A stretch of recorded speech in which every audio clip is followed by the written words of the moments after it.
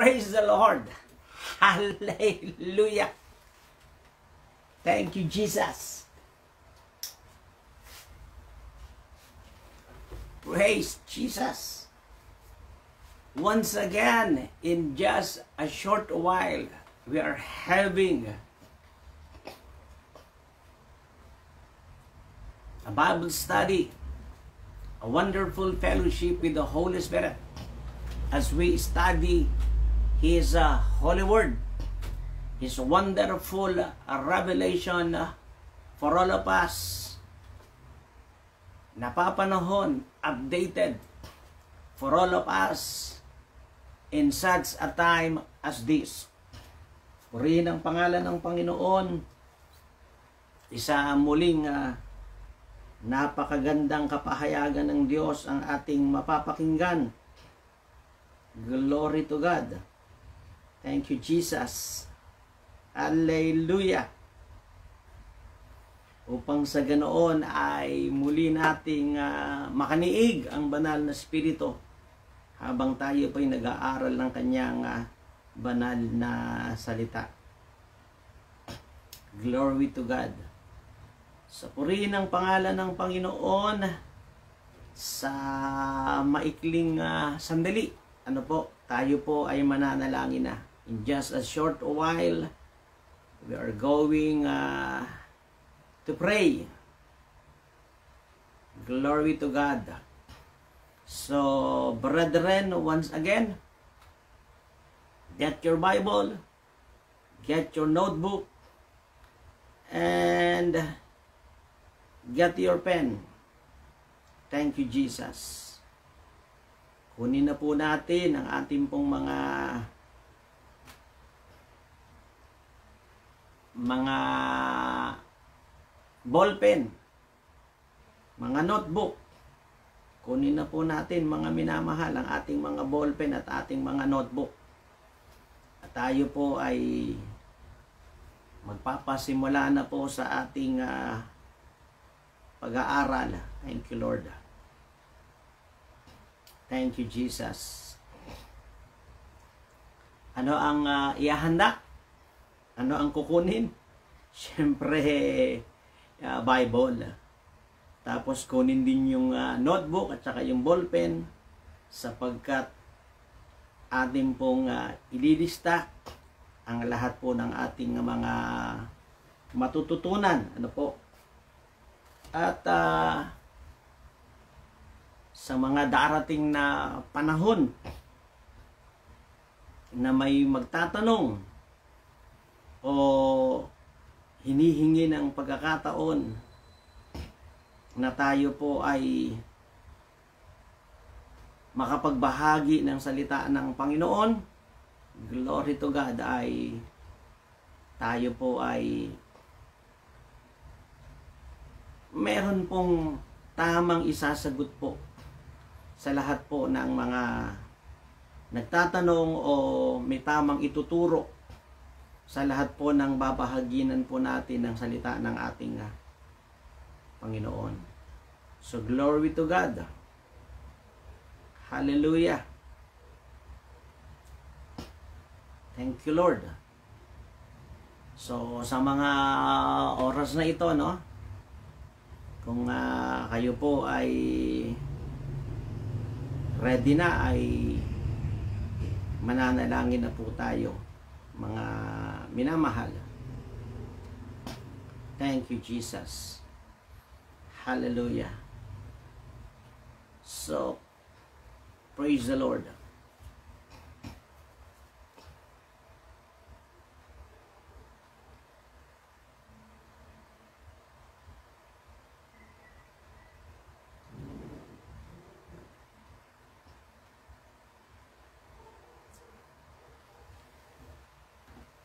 Glory to God. So, once again, to those who are watching and listening out there, welcome to Thus Saith the Lord. Ito ang sabi ng Panginoon, programs, watch and listen. Ito ang sabi ng Panginoon, Thus Saith the Lord. Like, share, and uh, subscribe. KOJF Church YouTube channel. KOJF Church YouTube channel. And Kingdom of Jesus Fellowship International Facebook fan page. Kingdom of Jesus Fellowship International Facebook fan page. So, get ready your Bible, get ready your notebook and your pen. So, taas po natin yung ating dalawang kamay patungo ng langit. Taas po natin yung ating dalawang kamay patungo ng langit. Shall we lift our both hands to Jesus and shall we pray? Heavenly Father, in Jesus' name, kami pong lahat ay lumalapit sa iyo na punong-puno ng pananampalataya, punong-puno po ng pag-asam, Panginoon. We come to you full of faith. We come to you, Father God, hallelujah, with full humility in our hearts. Lord, inaamin po namin na sa ganang sarili po namin, wala po kaming magagawa. Apart from you, we can do nothing, Father God. So we admit this thing, Lord, in Jesus' name. So extend your grace, Father God, right now Cleanse us with your holy blood. Hayaan mong dumalo ang iyong biyaya. Hugasan niyo po kami ng inyong makapangyarihang dugo na nabuhos sa krus ng Kalbaryo at gawin niyo po kaming karapat-dapat po sa inyong harapan. Make us worthy in your sight, Lord, in Jesus' name. And Father God, once again, reveal yourself, Lord, Magpahayag ka, Panginoon, sa bawat isa. Hayaan mong marinig ito ng lahat ng tao sa buong mundo. Reveal yourself. Reveal your truth, Padre God, to all the peoples of the earth. Allow, God, that your word be heard by all peoples of the earth. May uh, your word reach, Lord, even the farther, the farthest part of the earth, Father God, in Jesus' name, Lord, the Son of the living God. Father, release your salvation, Release your healing, release your miracle, Father God. May we experience all these things, your goodness, and Lord, pahintulutan nyo nga po, Ama, tulungan nyo po kami, Panginoon, na magawa namin ng iyong kalooban hanggang sa huling hininga ng aming mga buhay. Lord, may we fulfill our highest calling. Your highest calling, may do thine will, Father God, till the last breath of our lives. May we fulfill, Father God, our destiny, your destiny in our lives. Maraming pong salamat, dakilang Ama. Kunin niyo po ang lahat ng karangalan. Ibinabalik po namin sa iyo para lamang po sa iyong dakilang pangalan. Sa pangalan po ng aming Panginoong Heso Kristo at ang bawat sa iyong magsabi ng Amen and Amen. Palakpakan natin ang Panginoong Diyos sa buhay. Glory to God. Ang sabi ko po ay palakpakan po natin ang Panginoong Diyos na buhay. Hallelujah! So thank you Jesus. Sige po, ibigay po natin yung ating pinaka-the best sa ating Panginoong Diyos na buhay na palakpak. Shall we give the, the Lord the best clap of praise? Hallelujah! Glory to God. Our hearts must not be filled with worry. Our hearts must not be filled with fear. Our hearts must not be filled with anything negative, but our hearts must be filled with faith and laughter. Kinakailangan ng puso natin ay hindi mapuno ng takot, kaba, pag-alala at mga negatibong bagay, kundi ang ating mga puso ay mapuno ng pananampalataya at kagalakan ng ating Panginoon. Thank you, Jesus. Oh, glory to God. Hallelujah. So mga minamahal, tayo pong lahat ay makipagbukas po sa aklat po ng uh, sa, sa aklat po ng sa aklat po ng Daniel. Daniel. Daniel chapter 7 verse 14. Daniel 7 verse 14. Buksan po natin mga minamahal. Daniel 7 verse 14. He was given authority, glory, and sovereign power all nations and peoples of every language worship him. His dominion is an everlasting dominion that will not pass away, and his kingdom is one that will never be destroyed. He was given authority, glory, and sovereign power. All nations and peoples of every language worship him. His dominion is an everlasting dominion that will not pass away, and his kingdom is one that will never destroy. Pakisabi natin, will not pass away. Say it. Will not pass away. Will never be destroyed. Will never be destroyed. And that is Jesus and His kingdom. The kingdom of Jesus. Only Jesus and His kingdom is dependable and unshakable. Only Jesus and His kingdom is dependable and unshakable. Tanging sa Jesus at ang kanyang kaharian ang mapapanaligan at hindi mayayanig, hindi maliliglig, hindi mawawasak, hindi madudurog, hindi masisira, hindi maaalis, cannot be destroyed. Firm, steadfast, will not pass away, will remain forever. Ang Panginoong Heso Kristo at ang kanyang kaharian lamang po ang meron po nito. Everything here on earth is collapsing. Alam na alam po natin yan na ang mundo ay nakikita ho nating uh, ay patuloy pong uh, nagko-collapse. It, it is uh, being uh, decayed. It is being uh, continually patuloy na nabubulok, nasisira. Patuloy po na ang mundo ay meron pong mga bagay-bagay na mga pangit na nagaganap. The earth, this present earth, we, we can see it, that the earth is collapsing. Sa gitna po ng problema, sa gitna ng sakit, sa gitna ng mga kalamidad at mga sakuna.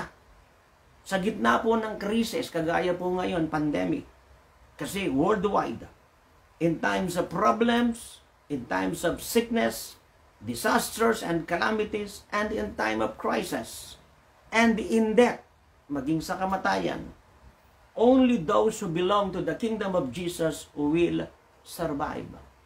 Tanging yung lamang pong na kay Jesus at nasa kanyang kaharian lamang po ang mananatili, makakasurvive.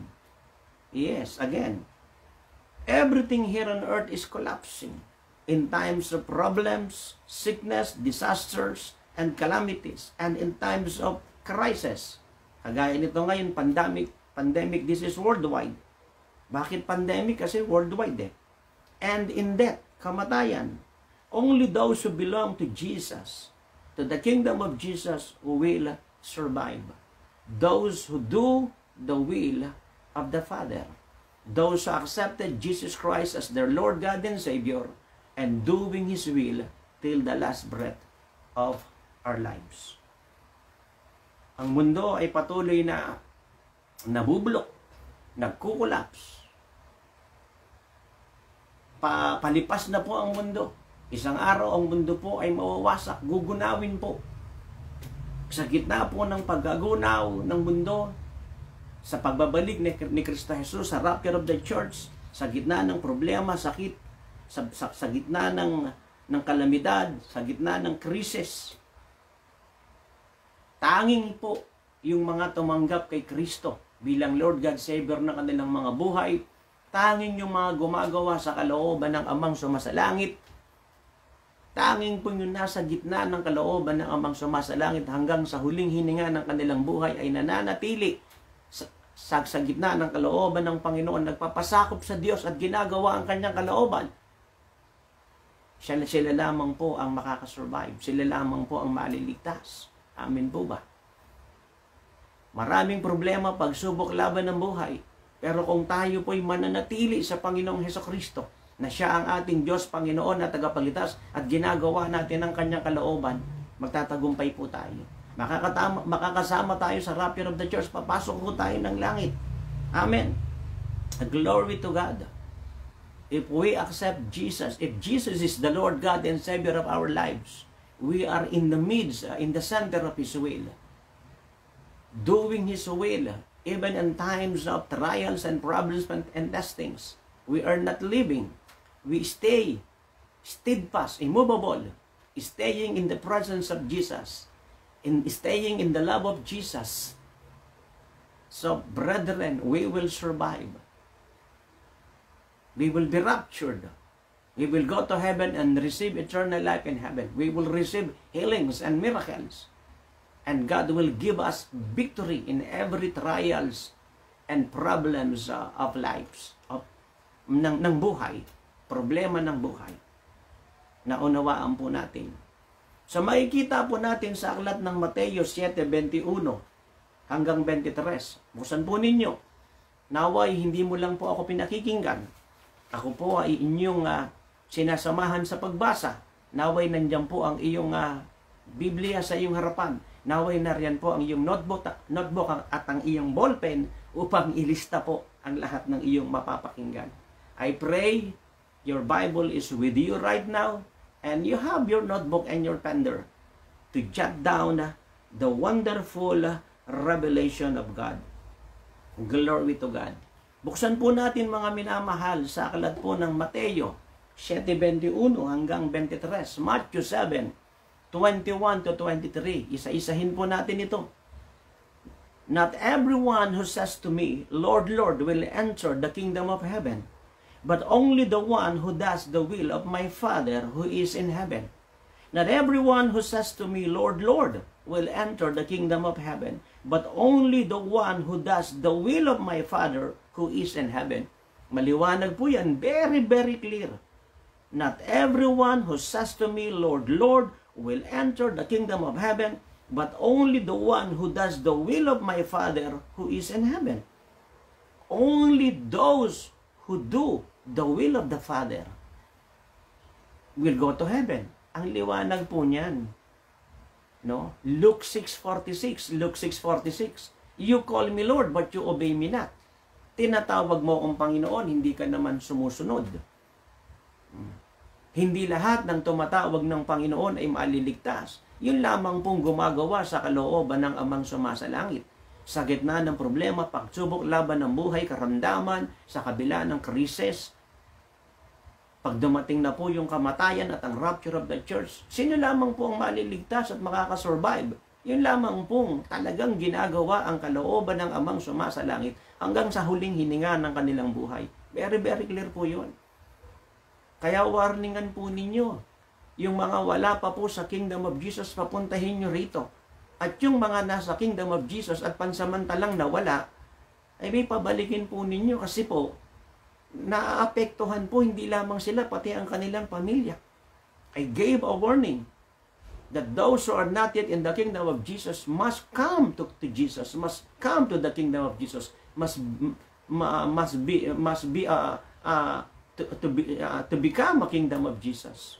And those who for the meantime departed, leaving the kingdom of Jesus, you know, I'm, I, I, I warn them that uh, something bad will happen to them and including their their their family their family their members of, the, of their family will also be affected. Maapektuhan din po. Yun po ang aking pong uh, warning po no na, na na yung mga wala sa kaharian ni Kristo Jesus na hindi pa nagbabalik loob kay Kristo at yung mga na nagbalik loob na sa na, na kay Kristo at pansamantalang nawala dahil sa kanilang o ano mga kaparaanan. There are so many, many, many reasons why many people are not yet in the in the will of God, not yet in the kingdom of Jesus. There are so many, many uh, reasons why many are, for the meantime, departed from the will of God, from the kingdom of Jesus. So the Lord wants them to return. Nais ng Diyos magbalik lahat. Di ba? Hindi naman ako nagkamali ng warning. Anong nangyari sa mga backslider? sa mga tinatawagan, di ba naapektuhan sila? May mga problema at mga pagsubok laban ng buhay na naranasan nila na hindi nila inaasang mararanasan nila ito. At tinamaan pati ang kanilang pamilya. Naunawaan po ba natin? So yun po yun mga minamahal. Kaya nga po, napakahalaga, napaka-importante na hindi lamang natin to pinapakinggan, eh ito'y ating isinasa kabuhay at winawarningan po natin ang lahat ng tao lalo na po yung ating mga mahal sa buhay. Sabihin natin, dapat eh, makarating ka sa kaharian ni Kristo Jesus. Ano ba yung kaharian ni Kristo Jesus? Eh si Kristo Jesus ang Diyos doon, Panginoon na tagapagligtas. At yung kalooban ni Kristo ang ginagawa hanggang sa huling hininga ng buhay. Kung pa, tinutularan, ginagaya si Kristo.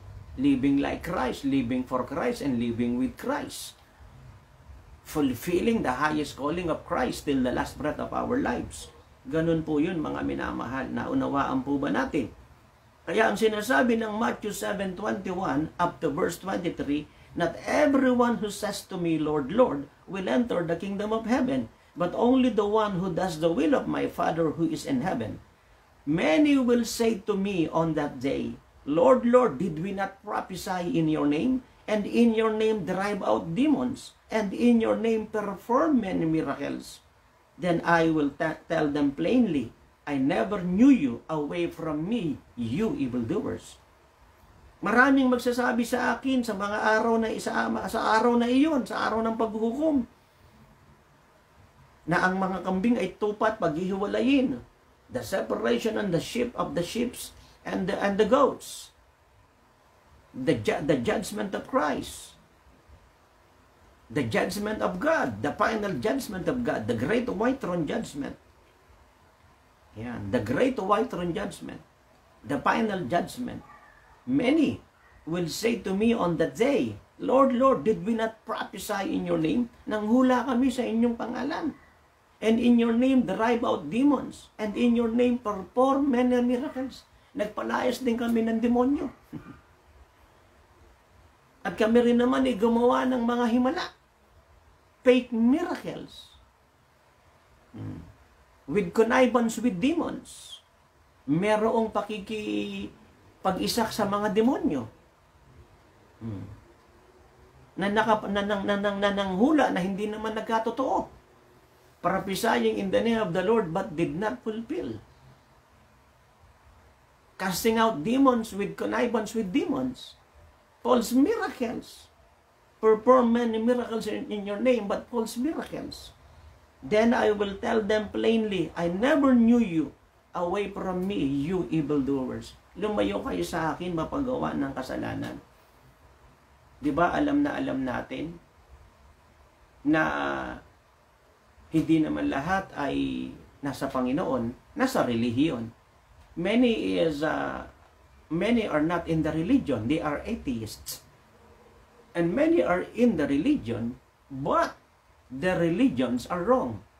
Marami ay ateista, 'di ba? Wala silang Diyos. May, marami naman nasa relihiyon, pero mali naman ang Diyos sa kanilang sinasamba, hindi naman sumusunod sa kalooban ng amang sumasalangit. Naunawaan po ba natin? Ang liwaliwanag yun eh, na sinabi ng ating Panginoon sa aklat ng uh, Mateo, di ba? Anong sinasabi ng Panginoon sa aklat ng Mateo? Eh kayo, yung mga pagsamba lang naman ninyo, sa bibig lang yan eh. Hmm. Sa bibig lang naman yung pagsamba ninyo eh. Yung mga mga ginagawa ninyo, mga kautosan at katuruan lang ng tao yan eh. Mga kagustuhan nyo lang naman yan eh. Kayo ay nagtayo ng relihiyon, nagtayo kayo ng church. Ginawa niyong leader ang inyong mga sarili. Siniraan niyo ang mga totoong lingkod ng Diyos. Nang agaw kayo ng Diyos, nang agaw kayo ng mga tupa, nang divide kayo. Eh yung mga pinagagawa ninyo, mga pangsarili niyo lang yan eh. Hmm. These people honor me with their lips, but their hearts are far from me. They worship me in vain. Their teachings are merely human rules. Matthew 15 verse 8 up to verse 9. Matthew 15, 8 and 9. These lips honor me with their, their, I mean, these people honor me with their lips, but their hearts are far from me. They worship me in vain. Their teachings are merely human rules. Ganyan. Ang daming relihiyon ngayon. Ang daming sekta, coalition, organization, movement. Pati mga nagsasabing born again Christian kuno. Pero mga oneness, mga mga uh, manifestation. They don't believe in the Holy Trinity. Mga Unitarian, mga Jesus-only doctrine. At yung mga produkto ng division, mga nang-agaw lang ng church, nang-agaw lang ng mga tupa, nang divide lang, yung mga nanira lang ng mga totoong lingkod ng Diyos. Ano ang sabi ng banal na kasulatan? No? These people honor me with their, with their lips, but their hearts are far from me. You see? Those belong to the religion, and those who put up religion, established religion, and those who uh, uh, made themselves heads, and uh, those who divide churches, those who slander uh, the true men and women of God, those who steal plaques from other churches. You know, these people honor me with their lips, but their hearts are far from me. They worship me in vain. Their teachings are merely human rules. Yun yun eh. Ang dami-daming uh, mga pinagbabawal. Bawal kumain ng dugo, bawal kumain ng ganito, bawal mag-asawa. Ang daming bawal. No? Bawal to, bawal yan. Alam mo, sa banal na kasulatan, isa lang yung bawal eh. Yung ikaw ay wag gumawa ng kasalanan. Basta kasalanan, bawal yun. Naunawaan po ba natin? Mm-hmm. So, eh, lingkod ng Diyos, uh, bawal po bang kumain ng dugo? Kaya kumain ka ng dugo, kaya hindi, hindi ka pupunta ng impyerno. Whether you eat blood or not, you will not go to hell. Whether you marry or not, you will not go to hell. If you forbid people not to eat, not to eat this, if you forbid people not to marry, then that is a, a, a teaching from demon. Kaya nga po, napakaganda po yung training na ginawa natin eh. Kaya sabi ko nga po sa inyo, sa lahat po ng mga pastor at pastora, sa lahat ng mga leader, sa lahat ng mga mangangaral, pag meron tayong training face-to-face or online, abay dumalo kayo o makinig o manood kayo. Kasi baka hindi nyo alam yung katotohanan eh. Baka yung mga pinagtuturo ninyo, eh mali yan. Kaya para hindi kayo magkamali at hindi kayo nagtuturo ng mali, abay dumalo kayo at makinig kayo. At makipag-online na discipleship kayo, makipag-online live streaming kayo, mga minamahal. Naunawaan po natin. So pakipanood na lang po ninyo yung nagdaan nating mensahe na, na Holy Week. No? Ipinag, ipinag, pinag-aralan natin ng Holy Week, 3 days po yun eh, no? Uh, Thursday, Friday, and Saturday, morning and the afternoon. Ano po? At nung afternoon, nagaroon tayo ng virtual meeting, discipleship meeting with the leaders. Kaya yung mga leaders na gusto ng meeting, gusto ng virtual meeting, gusto ng discipleship meeting, eh gustong gusto ko rin yan.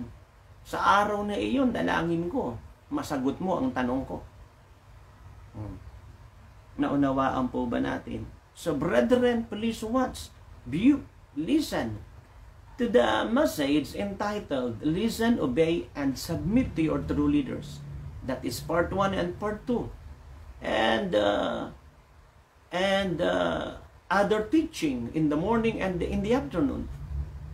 Panpakinggan, panoorin po natin yun. Naunawaan po ba natin? No? Para sa ganun kasi ang relihiyon, may mga relihiyon. Pag kumain ka ng dugo, hindi ka, pupun- hindi ka papasok ng langit. Pag hindi ka naging member namin, hindi ka papasok ng langit. Pag hindi ka namin binautismo, hindi ka namin bininyagan, puro sila eh. Puro yung bawal nila eh. Pag naglilingkod ka sa Panginoon, nag-asawa ka, aray ko. Oh, may gulay, sabi nga ni Ella. Magaling na si Ella mag-memory verse.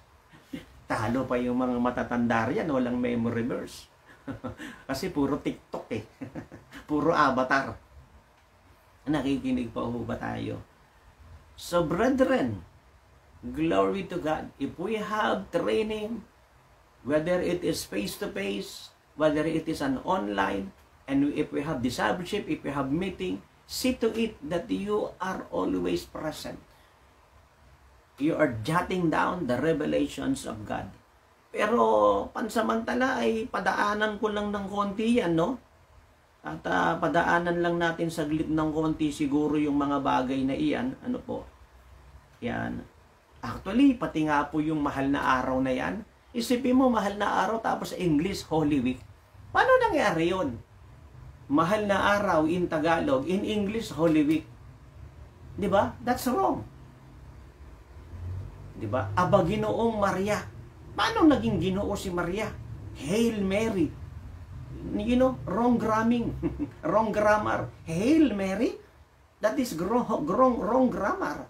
Aba ginoong Maria. Mali po yun mga minamahal. Si Maria ay Mrs. Ginang, hindi ginoo. Not Hail Mary. 1 Corinthians 8.8 1 Corinthians 8.8 But food does not bring us near to God we are no worse if we do not eat, and no better if we do. But food does not bring us near to God. We are no worse if we do not eat, and no better if we do. Kikainin mo yan, kaya hindi mo yan kainin, hindi yan maglalapit sa iyo sa Diyos. Maring mamatay ka o masira yung katawan mo o magkasakit ka. Ganoon, anything that is uh, uh, poisonous or anything that is harmful to your body, anything that is, uh, you take it too much, no? Sobrang asin, sobrang uh, too much sugar, too much salt, not in moderation, too much, you know, will only destroy your body. It will harm your body, you know, but it will not affect your spirit, your soul. 1 Corinthians 8.8 But food does not bring us near to God. We are no worse if we do not eat and no better if we do. Kaya kainin mo hindi. Di ba? Sabi ng iba, maging membro ka namin, magpabotismo ka sa amin, magpabinyag ka sa amin, magpakumbil ka sa amin, huwag kang kakain ng ganito. Huwag kang iinom ng ganon, huwag kang mag-aasawa. Kung ikaw ay nagtuturo, etc., etc. You know, religions have so many do's and don'ts. And yet, the Bible declares, You worship me in vain. These people honor me only with their lips, but their hearts are far from me. Their teachings are merely human. Gawa lamang ng tao ang mga katuroang ito. Hmm. Ako, nung bata ako, sumasama ako sa mga pabasa eh. Nung ako'y bata pa, nag nagpo-procession din ako eh. Kaya alam ko yung mga mga kantang Immaculate Mother, Ave, Ave Maria. Alam ko yan eh. Nang si Judas ay nadulas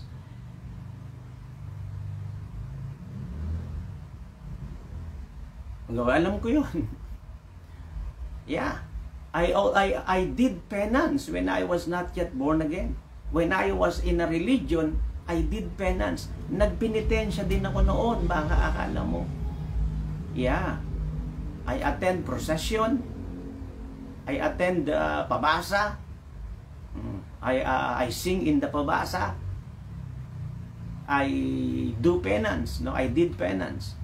Ganun ako noon, nagpinitensya rin ako noon, nagpapa, nagro-rosaryo rin ako, nagpapaba, sumasama rin ako sa pabasa noon. Noon yun, nung ako ay hindi pa born again. Ang ibig sabihin ng born again, yung nagbagong buhay, nagsisi ng kasalanan, nagbalik loob sa Diyos.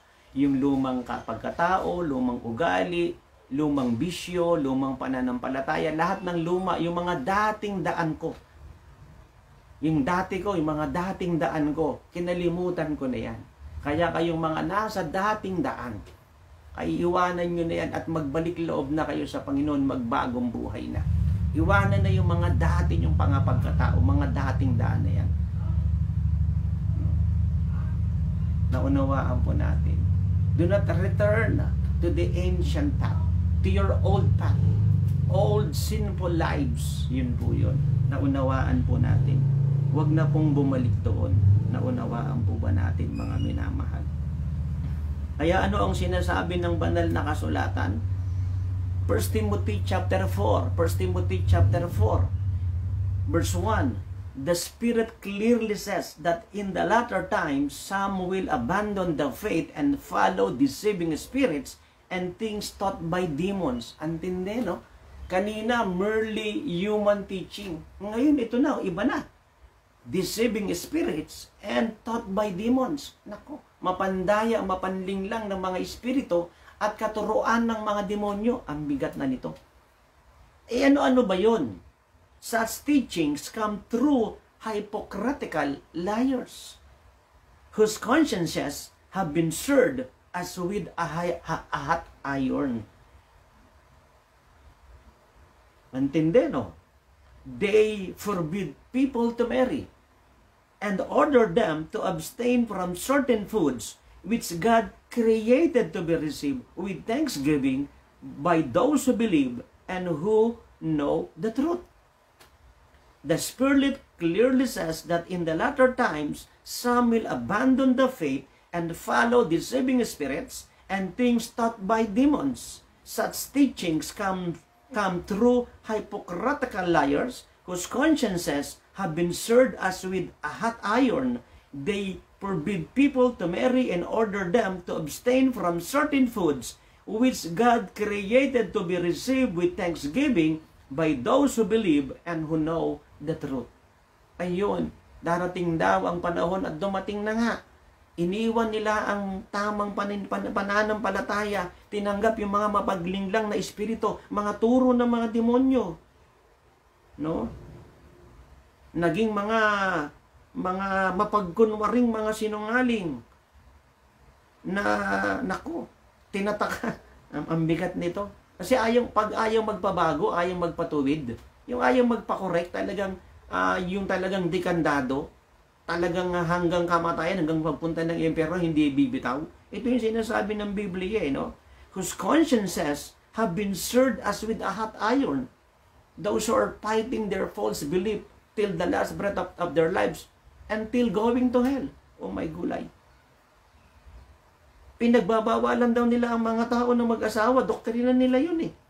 At pinapaiwas ng mga ganitong pagkain, di ba? Di ba merong relihiyon? Yung mga nagtuturo, bawal daw mag-asawa. Babait lalaki, yung mga naglilingkod, bawal daw mag-asawa. Kaya ang nangyayari dyan eh, nagkakaanakan tuloy, nagkakaroon tuloy ng mga uh, sexual uh, uh, uh, sins, ano po, nagkakaroon tuloy ng mga abortion, nagkakaroon tuloy ng mga rape, nagkakaroon tuloy ng fornication, di ba? Alam natin yan. Naririnig natin, nababasa yan, na-expose lahat yan. You know, the rape case, the fornication, the abortion, the pedophile, and homosexual, uh, di ba, uh, relationship, all these things uh, are, are being exposed. Alam natin yan. Nagkakaroon yan, di ba? Oh, alam natin po yan. Oh, yun yun. Kaya, eh sabi nga ng Biblia, eh, kung ikaw ay tinawag para wag mag-asawa, di wag kang mag-asawa. At kung naman tinawag ka naman para mag-asawa, eh di mag-asawa ka. Nakikinig pa ho ba tayo? Ganun yun.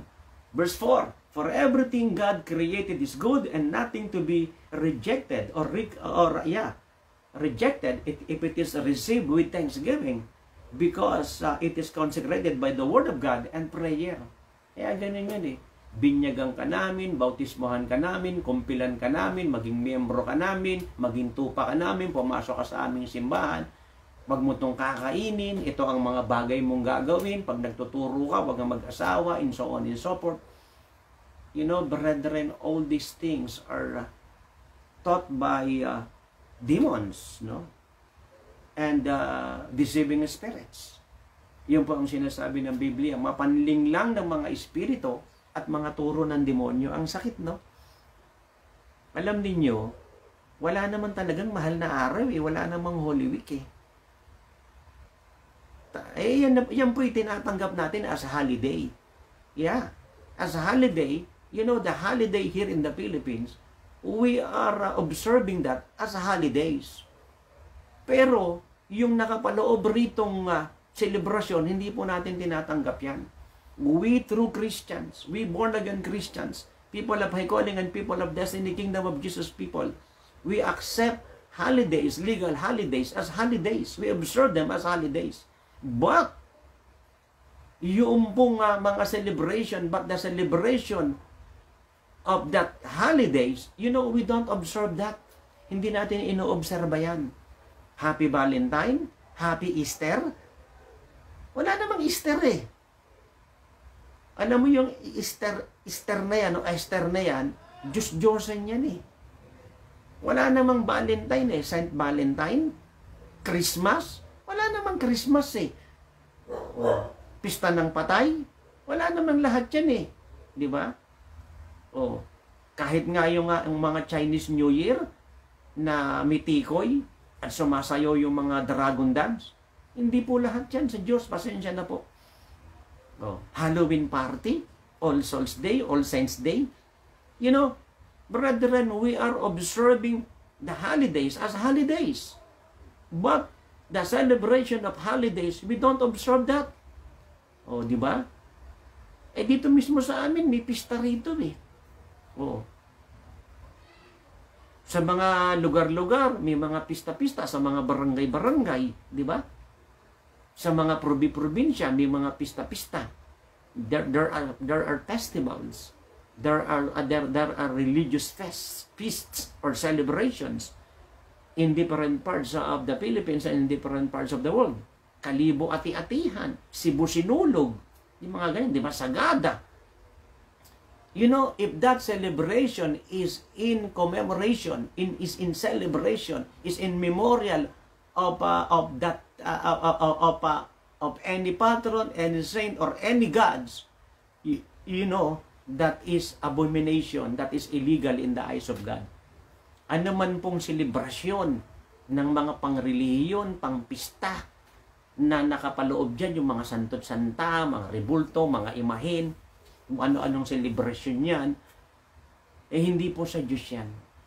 Opo, mga kultura ng Pilipinas yan at dinadayo pa ng mga taga-ibang bansa. Pero diretsahan na pong hindi po sa Diyos yan. Mga tarot card, mga spirit of the glass, mga omen, mga spirit, mga anting-anting, amulet, gayuma, hmm. mga ano pa ba, horoscope, zodiac sign, pati yung mga nagpapatato. You know, tattoo is not of God. Horoscope, tarot card, pyramid reading, tongue eats, gambling, uh, any vices, any sins and iniquities, any unholiness, impurity, uncleanliness, all these things uh, will lead you to hell. Naunawaan po ba natin mga minamahal? Hmm. Ganyan po yan eh. So, at uh, wag na, mahal na araw. Eh kung merong, isipin mo, mahal na araw sa Tagalog tapos sa English, Holy Week, Paano nangyari yon? Nag-iisip, nag, nag-iisip-isip po ba tayo mga minamahal? Huwag po kayong magagalit sa akin po ha. Huwag po kayong magagalit sa akin. Sinasabi ko lamang po ang katotohanan ha. Do not uh, get mad at me because I am just uh, uh, preaching what is uh, the truth from the Holy Book, from the Bible. Naunawaan po natin. Eh, kung para sa isa, mahalaga sa kanya yung ganitong araw na ito, sa kanya lang yun. Pero hindi po yun sa lahat. O, o para sa akin, ang May 16, mahalaga yun. Malapit na. Kasi birthday ko yun eh. Maaaring hindi mahalaga sa iyo yun. May 16 for me is uh, very special because it, because it is my birthday.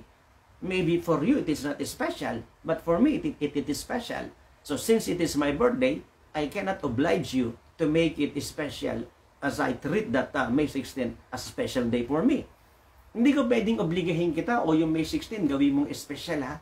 Gawin mong ano, Ricky's Day, Ricardo's Day, Lex Day. Hindi ganoon, mga minamahal. Naunawaan po ba natin? Yan yan. Yung iba, may pinapahalagahan kayong araw, mansari. Di ba? Anniversary. Mga ganon. Happy monthsary, happy anniversary. Eh, meron pa nga kayong weeksary. Daysary kaya meron. Naunawaan po ba natin? Romans 14 verse 5. Ano po ang dinidiin ko sa oras na ito? If you will consider or treat this date or this day special for you, so it only for yourself. You cannot oblige all the nations of the world to make it as a special day. Hmm. Naunawaan po natin. You can, uh, if you have the authority, you can make it as a, as a legal holiday. But as a holiday, all peoples on earth will observe it. Or I mean, the, your, your, your subordinates will observe it. Pero, yung uh, behind that celebration, ay hindi yon naunawaan po ba natin? Kunwari, sa Pilipinas natin, di ba, may mga Idel Fitr. Oh, ay hindi natin ino-observe yan. Di ba? Ganun yun. Kung ano man, birthday ni Maria. September 8. Eh, hindi ko ino-observe yan. Hindi natin ino-observe yan. O, kung ano man yung gawing holiday ng sino pa man, hindi natin ino-observe yan. Kagaya ngayon, di ba? Ngayon, April 9 ngayon, di ba? Araw ng kagitingan, di ba? Heroes Day ngayon eh, National Heroes Day. Holiday ngayon eh. Pero hindi, hindi mo na maramdamang holiday, no? Kasi dahil sa lockdown, holiday talaga eh. Dahil sa pandemic crisis, holiday talaga eh. So April 9 is Heroes Day. So it's a it's uh, eh, hindi naman masama na alalahanin mo yung mga bayani natin. Oh, do not just do not make them gods, no?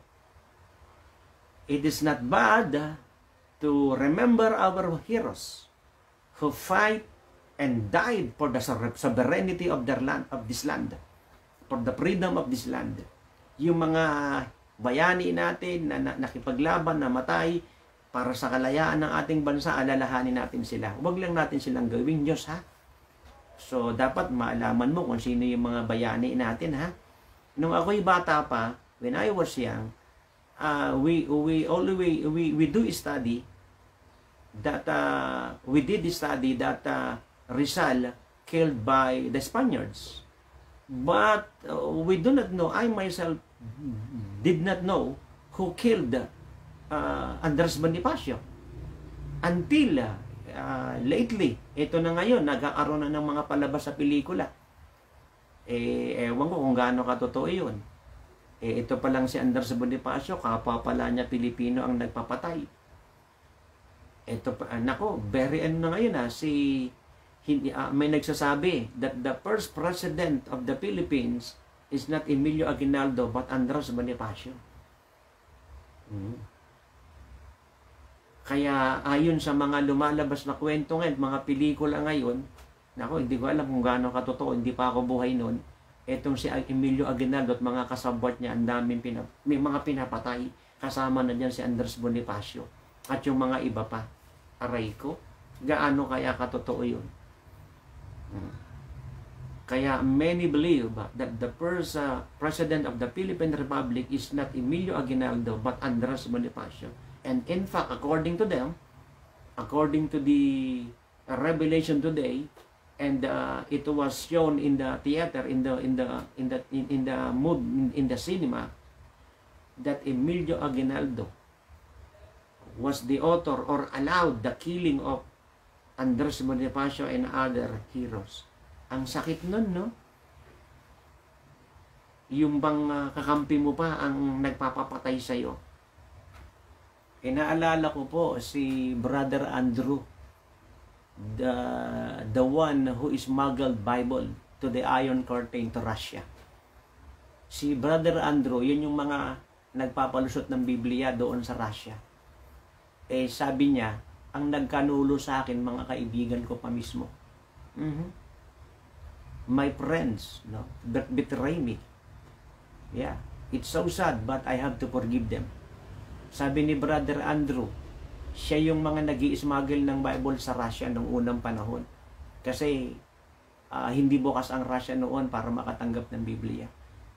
Russia is not allowing the Bibles to enter into that nation but brother Andrew smuggled Bible into Russia And according to him, the one, those who betrayed him are their friends. Isipin mo. Even Jesus Christ was betrayed by Judas, the handpicked disciple.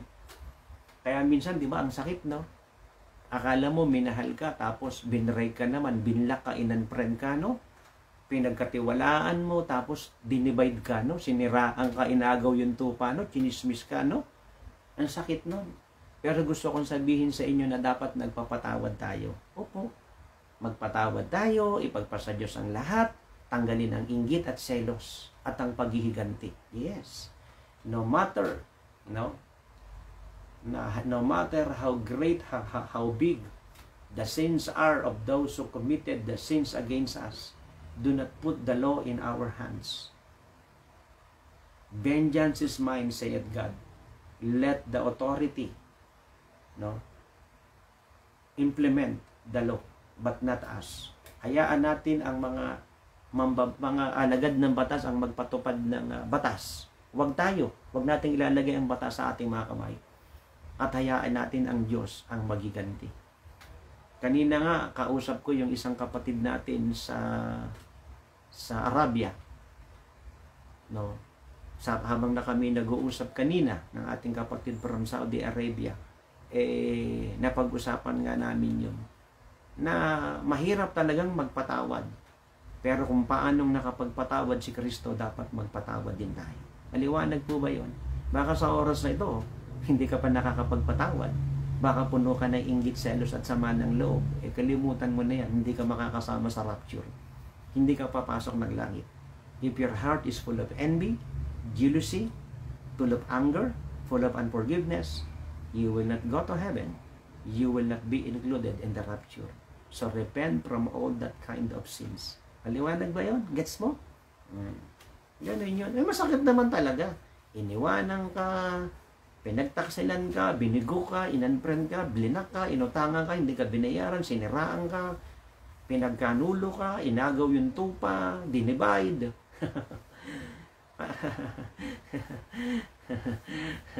eh, galit tayo sa kasalanan, pero sila mahal natin, nagpapatawad tayo.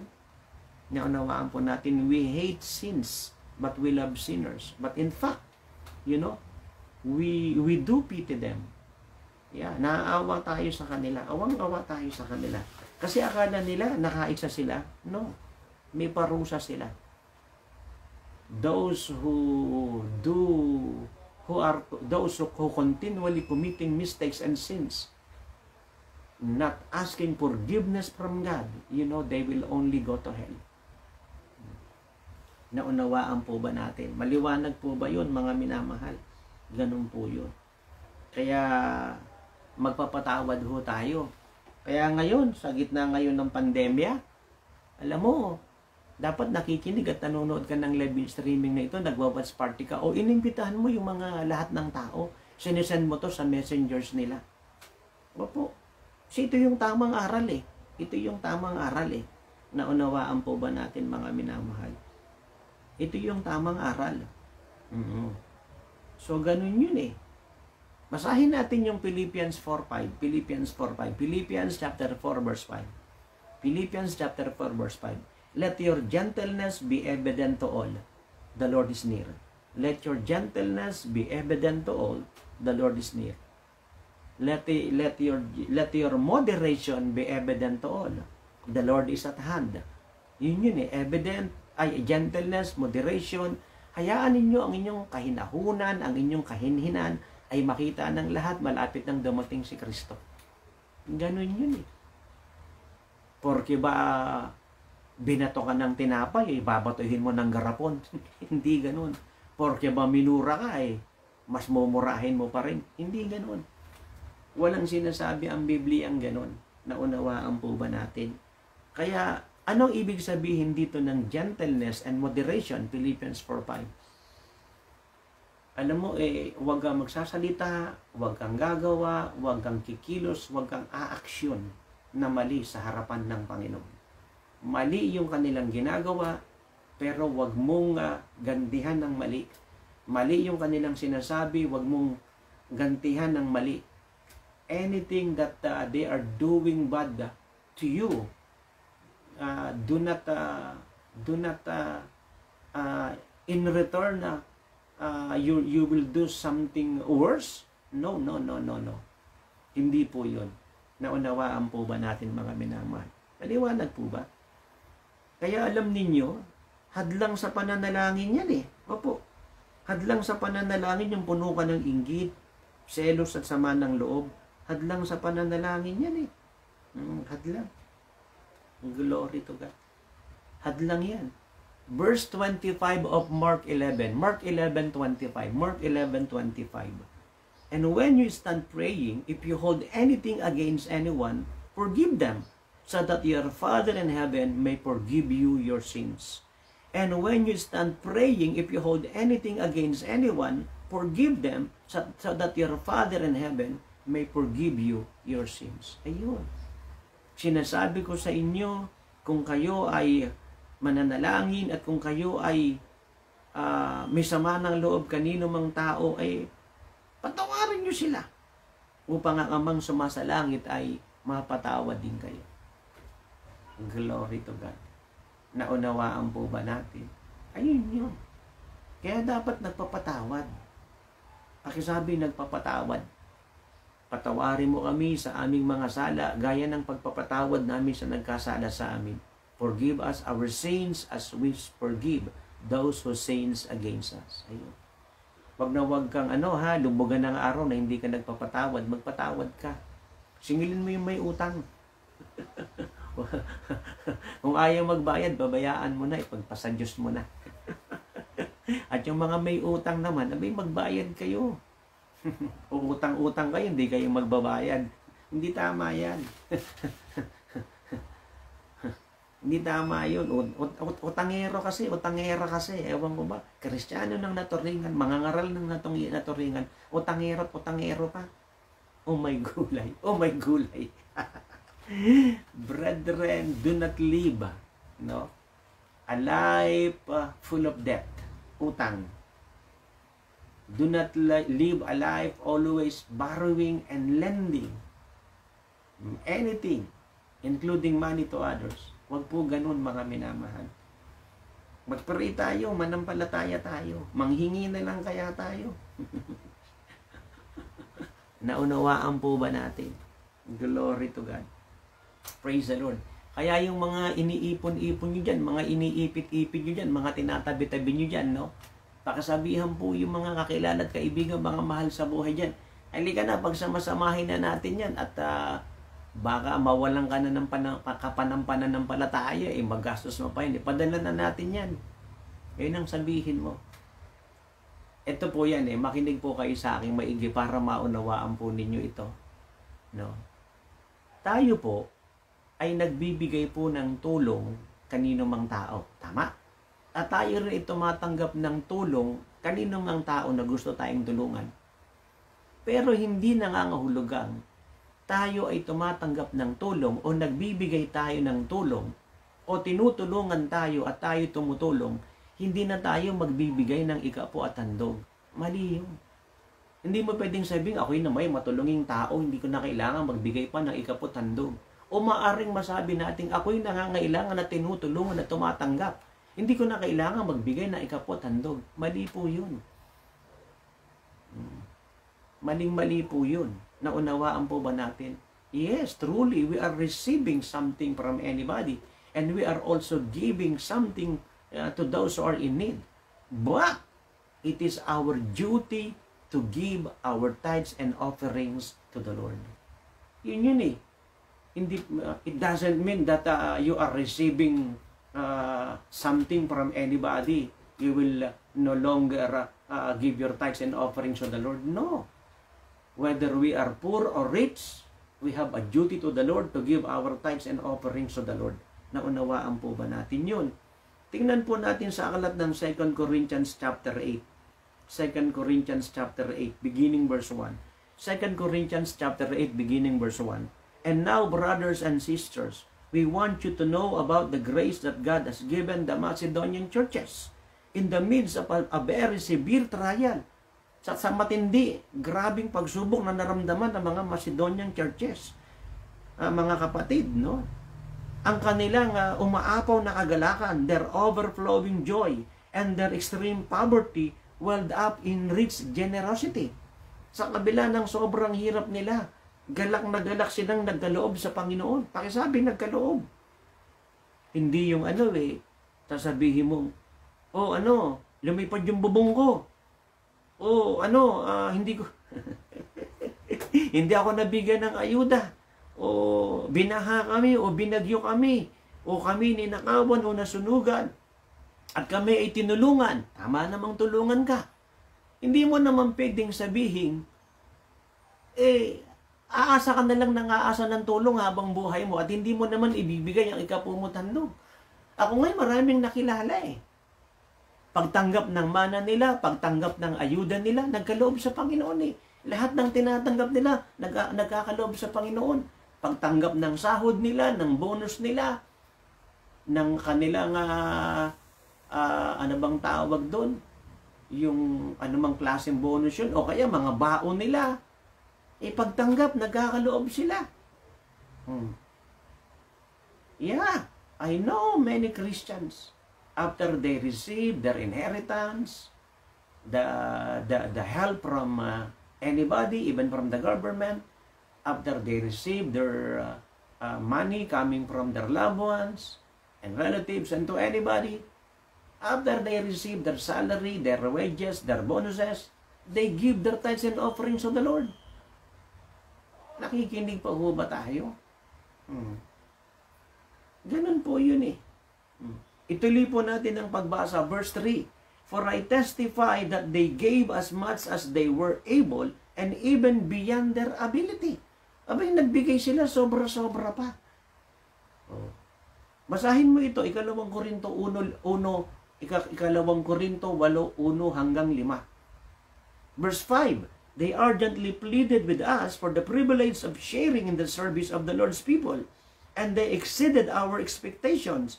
They gave themselves first of all to the Lord, and then by the will of God also to us. Isipin mo, alam mo yung mga hindi nagbibigay ng ikapuan tandog? Oo. Pagawa ka ng pagawa ng bahay, bili ka ng bili ng sasakyan, dagdag ka ng dagdag ng trabaho at negosyo, hindi ka nagbibigay ng ikapuan tandog. Basahin mo ikalawang Korinto, Korinto 8.1 hanggang 5, mapapahiya ka. Hmm, mapapahiya ka. Yes. You have the ability, the capacity to give your tithes and offerings to the Lord, and yet you are not giving your tithes and offerings to the Lord. Read Acts 8 1 to 5. You know, it will shame you. It will put you on shame. Why? Because of despite of their extreme poverty, sa kabila ng kahirapan nila, nagkaloob sila, nagbigay sila. Grabe ito. Nakikinig pa ho ba tayo? Yung iba, puro lang pangako eh. Napapako naman. Eh, lingkod ng Diyos. Bakit patuloy mo bang ipinapangaral yan? Eh, para mag silang pumunta ng impyerno. At isang araw, yung mga pagpapala nila, wag kunin at agawin ng Diyos at ibigay sa mga matutuwid. At para tuloy-tuloy na pagpalain. Ganun po yun eh.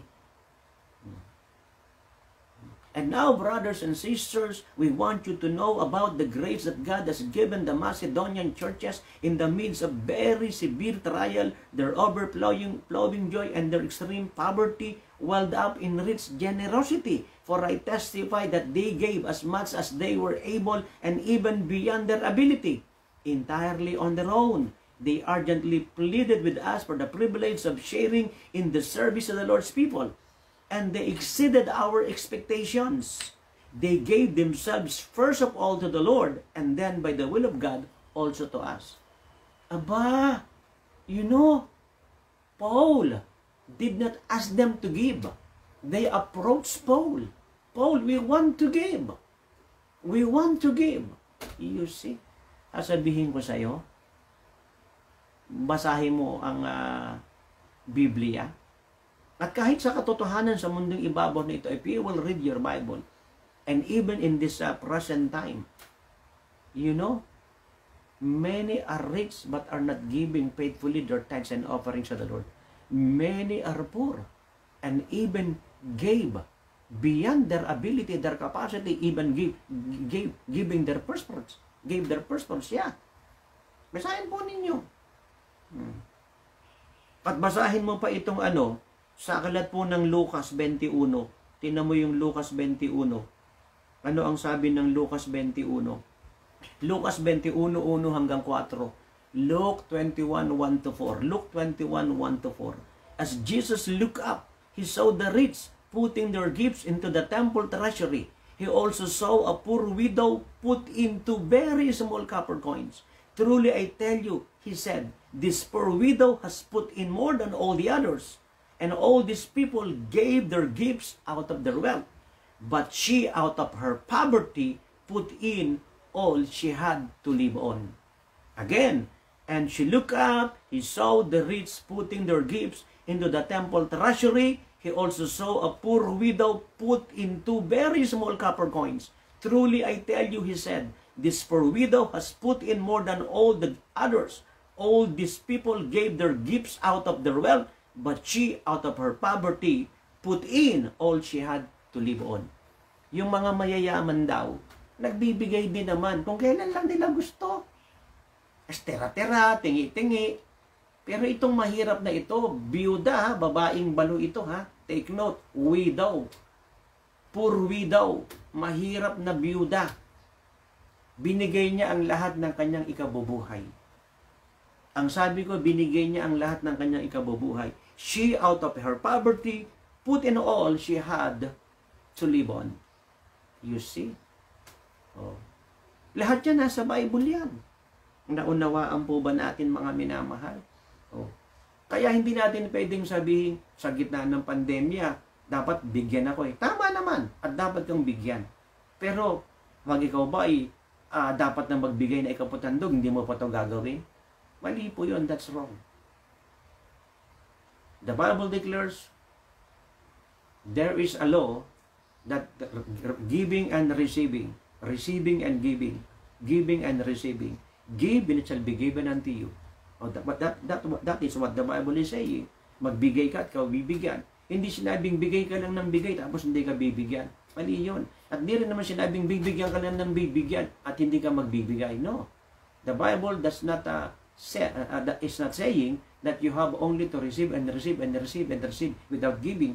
And the Bible is not also teaching that we have to to give and to give and to give and to give and not to receive. There must be a law of receiving and giving, a principle of receiving and giving. Dapat ganun yun. Naunawaan po natin. Pagbibigay at pagtanggap. Kaya eh, sa mga panahong ito, bago po ako magwakas, magwakas na po ako. Eh sa panahong ito, alam mo, pinag-aralan, tinapos, sasakyan, lupa, jowa, asawa, minamahal, trabaho, negosyo, alam mo, all these things are not dependable. Yeah. All these things are shakable. Lahat ng ito naliliglig, lahat ng ito ay hindi mo mapapanaligan. Opo.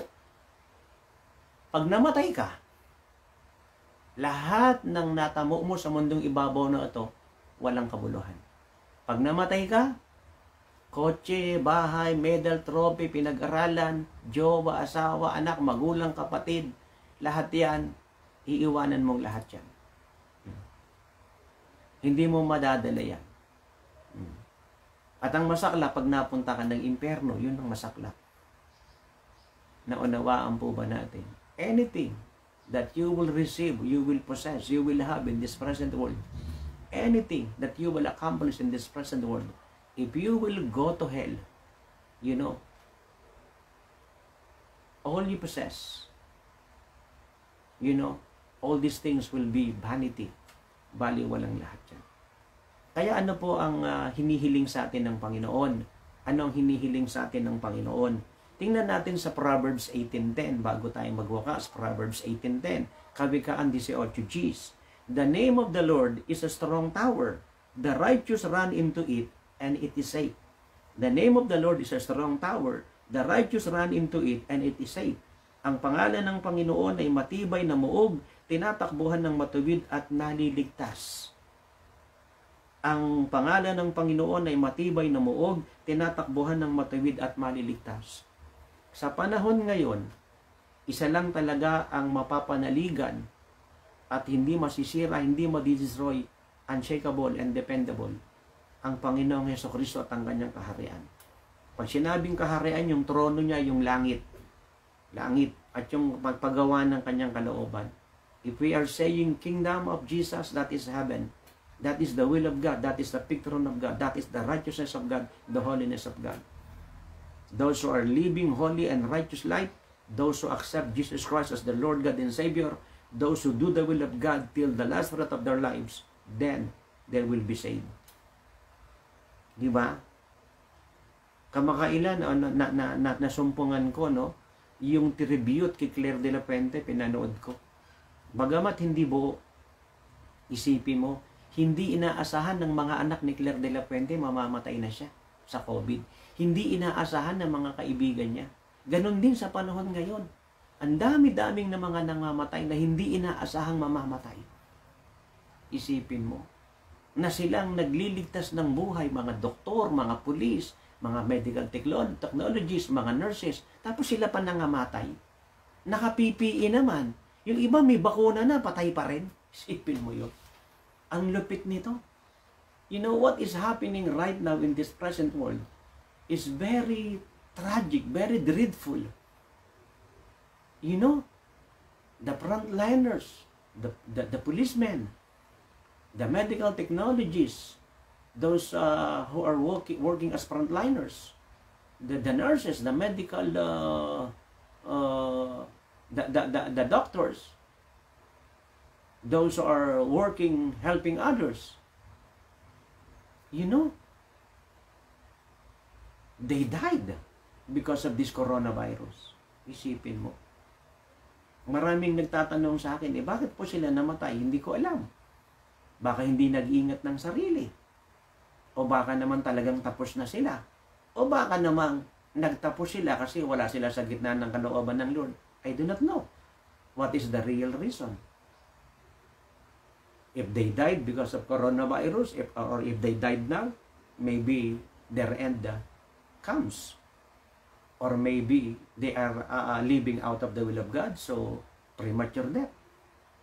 Or maybe they are violating the natural law. That's why they died. They did not take care of themselves.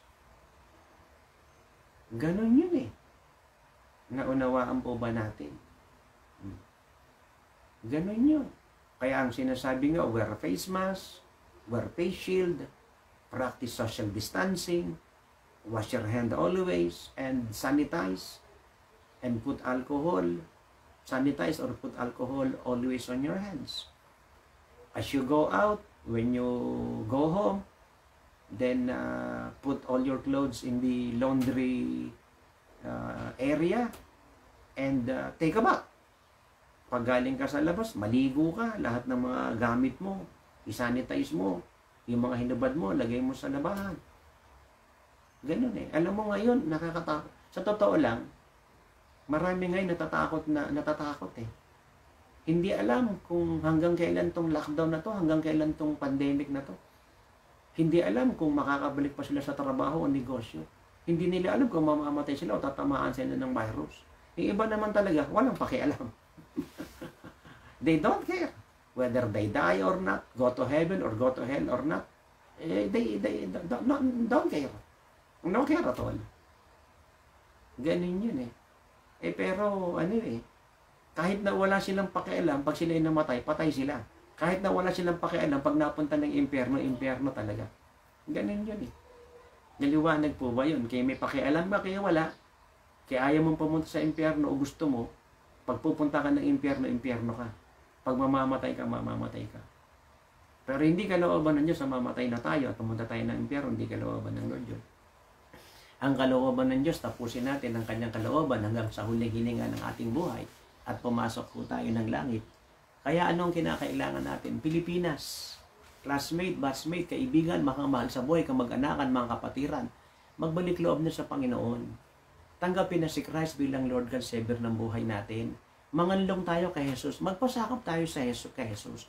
Gumit na tayo sa kalooban ng Panginoon. Balik na sa kingdom yung mga naligaw, nalihis, na wala sa kingdom, bumalik na.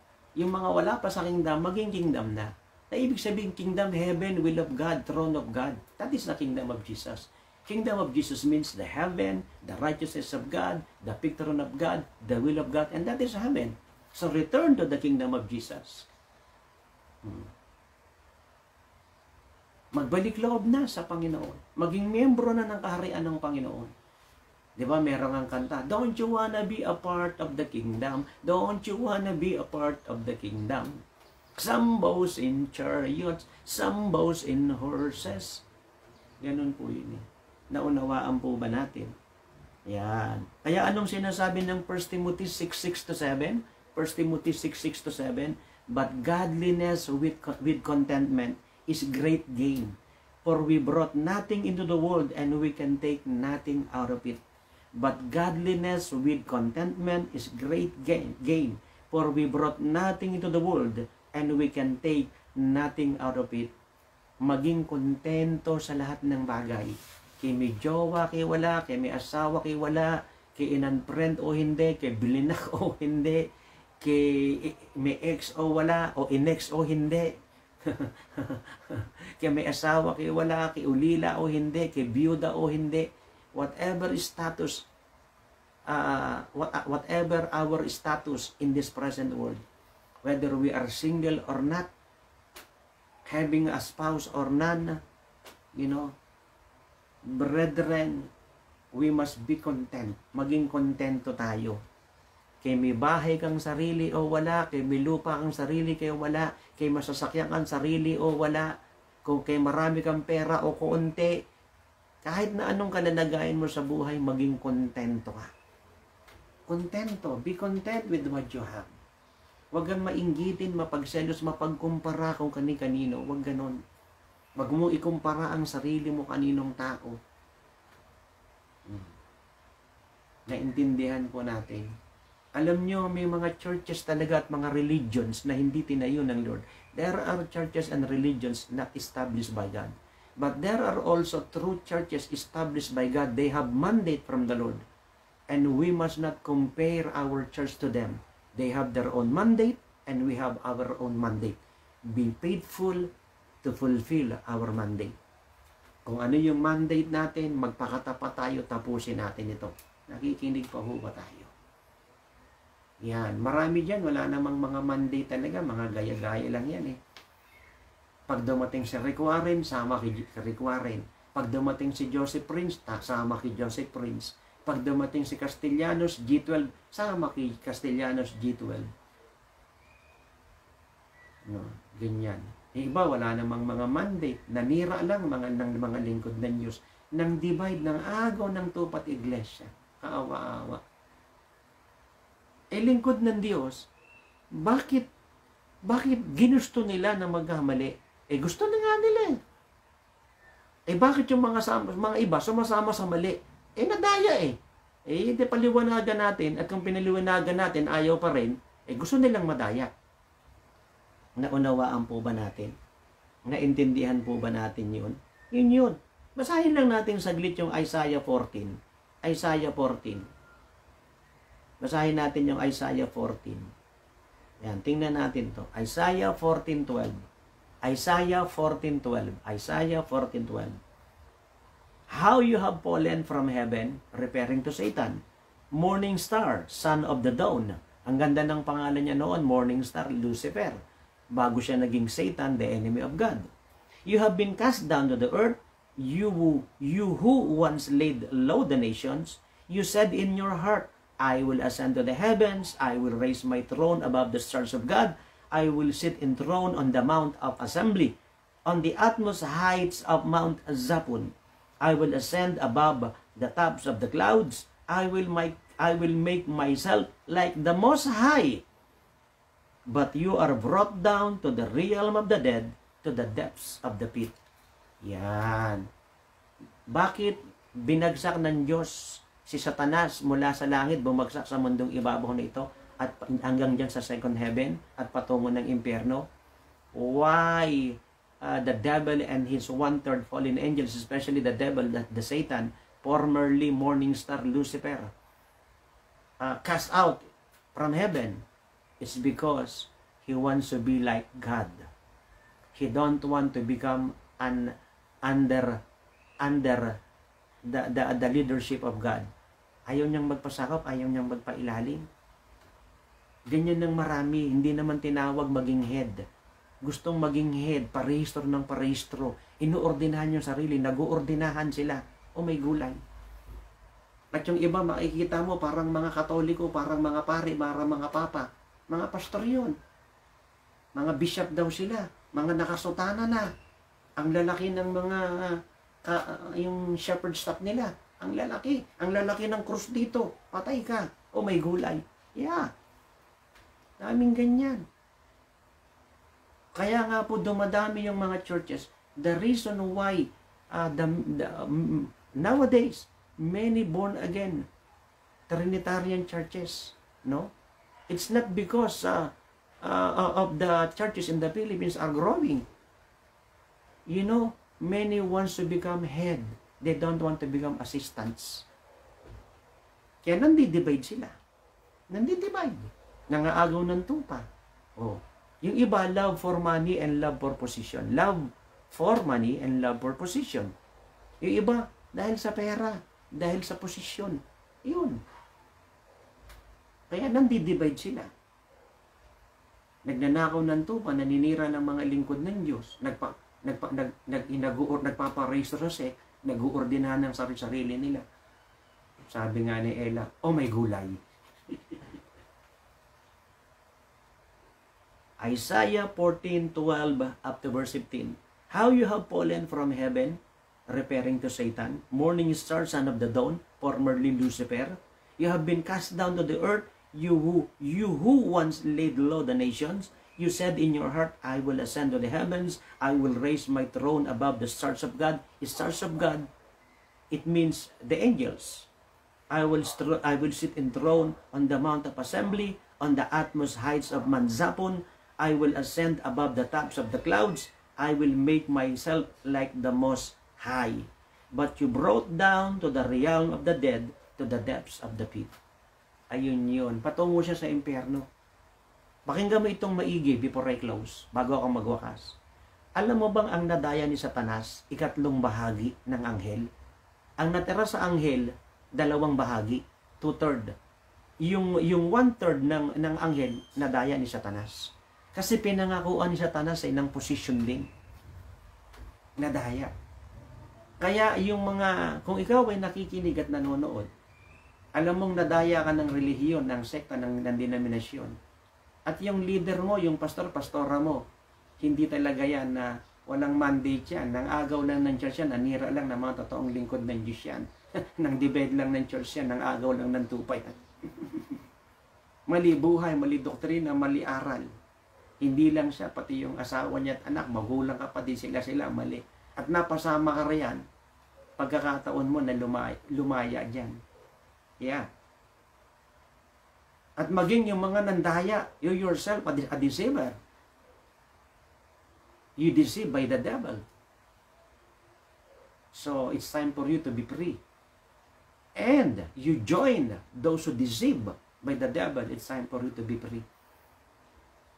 Kaya ang magandang nakikinig at nanonood kay. Kaya lahat ng mga nakikinig at nanonood, mag-watch party. Isan mo to sa lahat ng friends and relatives mo. Huwag matakot, huwag kang kabahan. Kahit ayaw nila, kahit i-block ka nila, kahit i-unfriend ka nila, ituloy mo. Whether they block you or not, unfriend you or not, go on, continue. Share the videos to, to, to, to them so that they will be set free. Isipin mo, pupunta sila sa impyerno dahil sa kanilang maling aral, maling buhay, maling doktrina, maling pagkatao, bisyo kasalanan, maling Diyos, maling sinasamba, maling pagkatao, maling buhay. Mali! Gusto mo yun? Nako, ayoko nun nakikinig pa ho ba tayo? Kaya nga nag full-time ako eh. 33 years ago, I entered the full-time ministry. No salary. Hmm. Nakikinig pa ho ba tayo? Hmm. Lingkod ng Diyos, di mayamang ka na. Hindi po. Gusto ko mayamang, mayamang, mayaman, hindi mayaman. Amen. Bakit? Eh para mabilis nating iligtas ang buong mundo. Kasi yung maraming kayamanan, yan ang gagamitin natin eh. Para tayo makapagligtas ng makapagligtas ng makapagligtas ng makapagligtas ng makapagligtas. Kasi maggastos ang magligtas. Aba, hindi biro ah. Nagbabayad ka ng telepono monthly, nagbabayad ka ng data, ng internet. Bumibili ka ng gamit, nagpapalit ka ng gamit, nagbabayad ka sa SEC, sa BAR, CPA. May mga workers ka na pin, pinapakain sila, na nga namang gutumin mo sila. O, di ba? Alang, alang nga namang papayatin mo si Brother Eric. Payat na nga, papapayatin mo pa. o may gulay. o, di ba? Mm. You know, don't just be rich, but be, be very, very rich so that we can share the gospel to the nations of the world rapidly, quick, as fast as we can. Because to share the gospel of Christ is very expensive, I tell you. Hindi po mura ang ipangaral ang salita ng Diyos. You have to pay the rent, you have to construct, you have to renovate, you have to repair, buy this and that. Pay this bill, pay the internet, pay the telephone, pay the data, etc., etc. Pay this and pay that. Buy this and buy that for fare, for transportation, for radio, for TV. You know, sharing the gospel of Christ is expensive. At kung nagagastos at kung at kung naiinis ka ha dahil magastos ang pangangaral ng salita ng Diyos ha o nagsasakripisyo ka at naiinis ka Huwag kang ma- ma- ma- ma- mainis. Kasi si Kristo, buhay niya mismo, binigay niya sa krus ng Kalbaryo. Buhay niya. Hindi na inis si Kristo, ha? Buhay niya. Kaya kung patuloy kang nananalangin, nag-aayuno, nagkakaloob, kung patuloy kang naglilingkod sa Diyos, kung patuloy kang nagkakaloob, patuloy mong ginagawa ang kalooban ng Diyos, huwag kang tumigil, huwag kang mainis. Sapagkat si Kristo, binigay niya ang kanyang buhay sa krus ng Kalbaryo, hindi siya nainis. Yeah. Hmm. Naunawaan po ba natin? Jesus Christ became man. He was God from the beginning and He became man. And He died on the cross of the Calvary. Brethren, hmm. naunawaan po ba natin? He died on the cross of the Calvary. Hmm. He finished the will of the mandate. The will of the Father, I mean the mandate of the Father.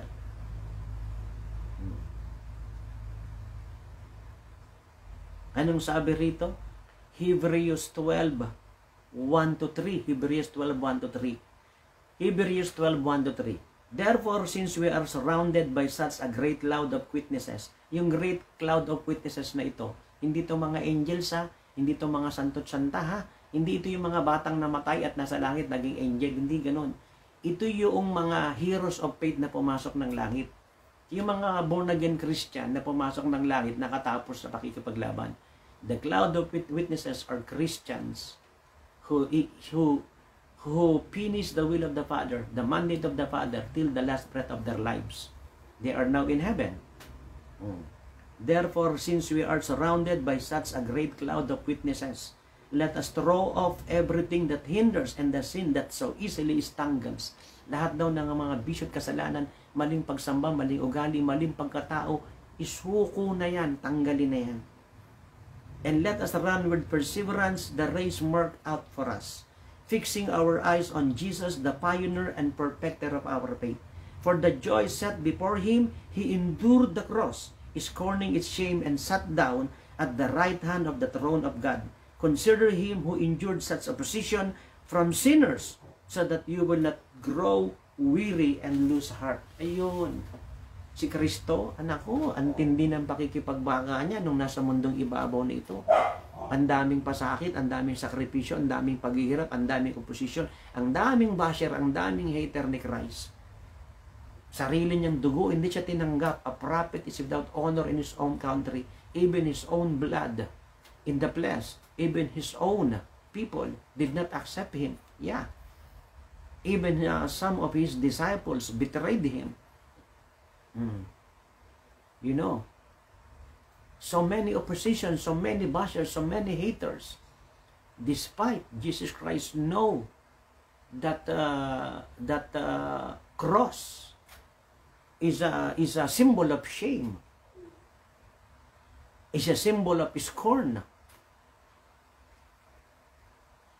Scorning, taunting, mocking, alam niya na ang cross, simbolo ito ng ano eh, kamatayan, paghihirap, sakripisyo. Pero hindi siya sumuko, hindi siya umatras, tinapos, tinapos niya. Kapatid, kaibigan, minamahal mga magulang, pastor at pastora, tapusin mo ang laban. Huwag kang haatras, huwag kang susuko. Huwag. Binigay mo na yung pars noon, ituloy mo pa. Nagbigay ka na ng tithes and offering, ituloy mo. Nag-ayuno na nalangin ka, ituloy mo. Lumabang ka, ituloy mo. Nag-full time ka, ituloy mo. Ginawa mo ang kalooban ng Diyos, ituloy mo ang sabi ko, ituloy mo. Continue to, to go full time. Continue to preach the gospel of Christ. Continue to be holy. Continue to give your tithes, offerings, and first fruits. Continue to do the will of God. Continue. Continue. Imitate Jesus Christ. Imitate Jesus Christ. Therefore, since we are surrounded by such a cloud, very, very great cloud of witnesses, Let us throw off everything that hinders and the sin that so easily strangles. And let us run with perseverance the race marked out of us, fixing our eyes on Jesus, the pioneer and perfecter of our faith. For the joy set before him, he endured the cross, scorning its shame, and sat down at the right hand of the throne of God. Consider him who endured such opposition from sinners, so that you will not grow weary and lose heart. Alam mo, sa mga panahong ito, nakapanlulumo talaga ang nagaganap eh. Opo, nakapanlulumo.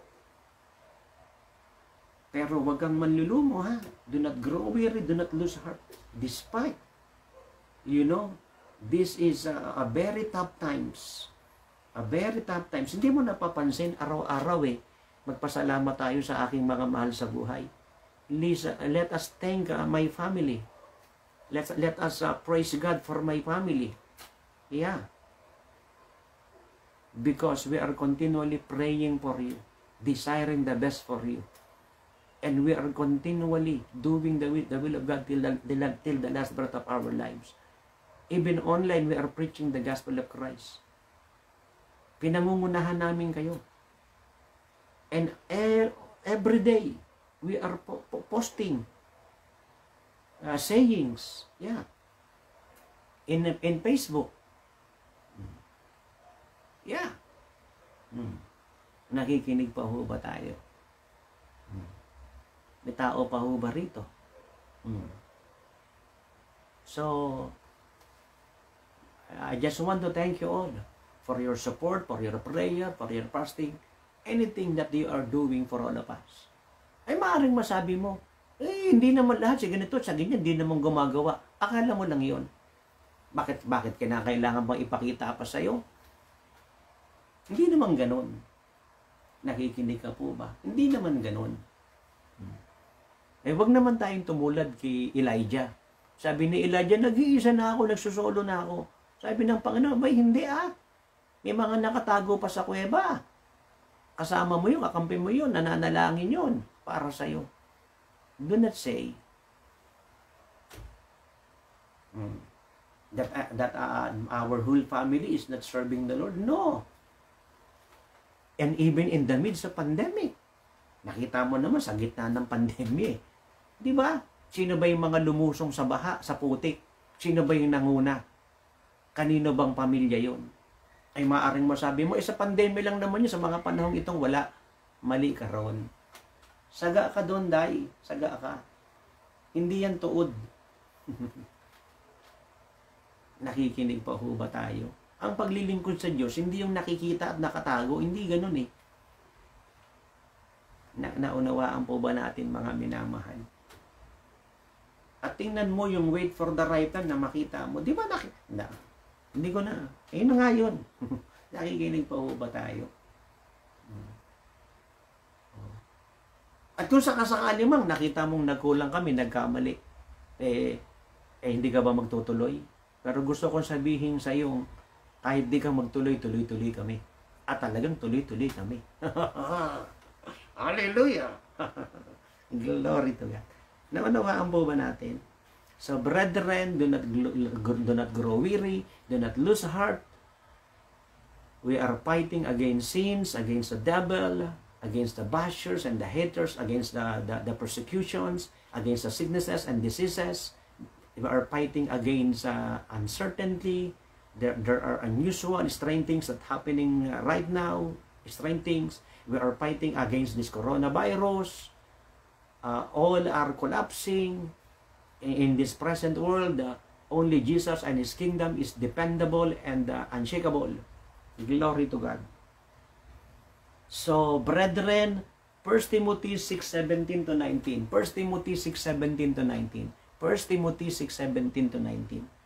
Command those who are rich in this present world not to be arrogant, not to put their hope in wealth, which is so uncertain, but to put their hope in God, who richly provides us with everything for our enjoyment.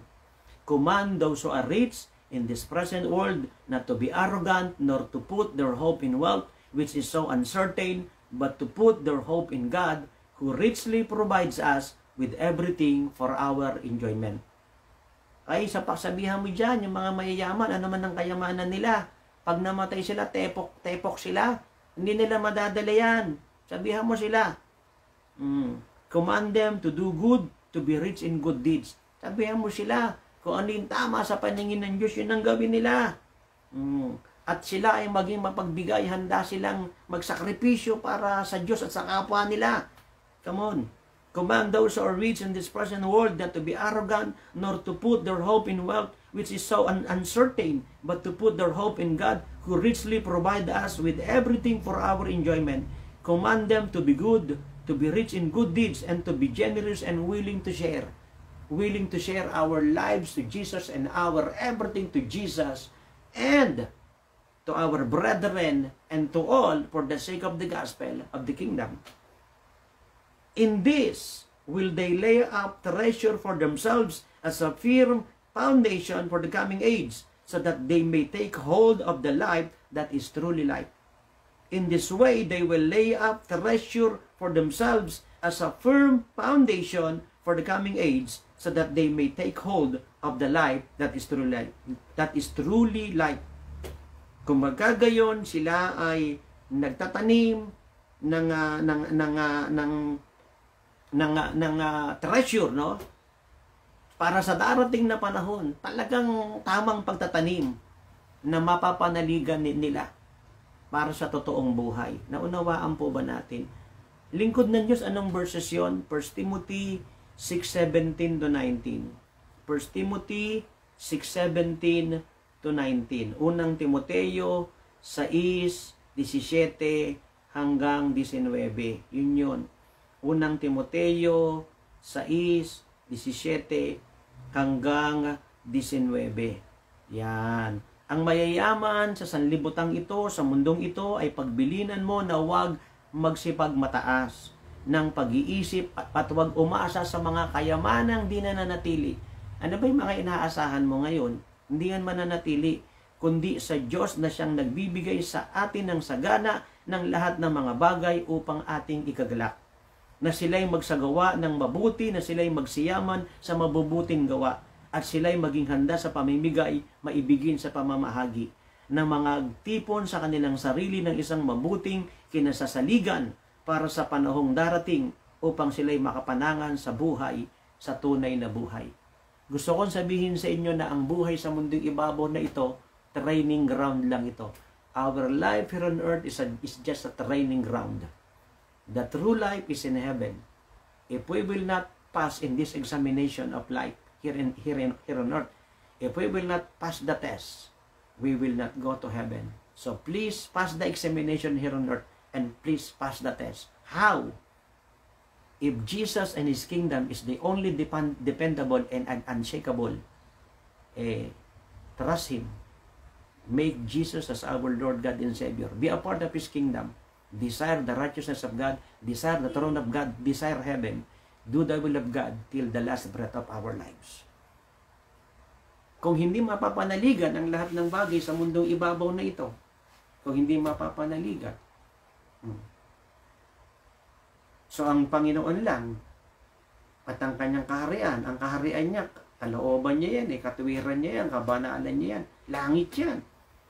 Yan lang, yan lang naman naman nanatili eh. Opo, ang Diyos lang ang mananatili. At saka, at saka yung kaharian niya. Yan lang naman na naman nanatili eh. Siyempre, pag mananatili ang Diyos, mananatili yung salita niya. Kasi alangan namang walang, walang salita ang Diyos. At pag mananatili ang Diyos na may salita, at ang kanyang salita mananatili yan forever, so yung kaharian niya mananatili. O, so receive His word, accept Jesus Christ as our Lord God and Savior, be a part of heaven, be a part of the kingdom, receive eternal life in heaven, because no one is dependable here on earth. And no one is unshakable. Only Jesus and the kingdom of Jesus.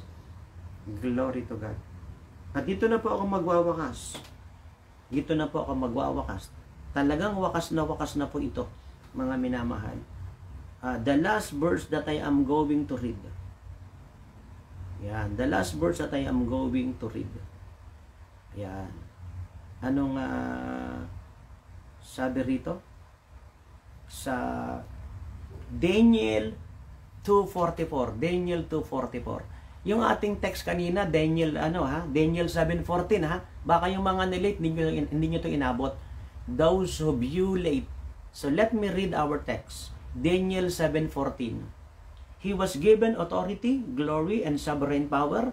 All nations and peoples of every language worship Him.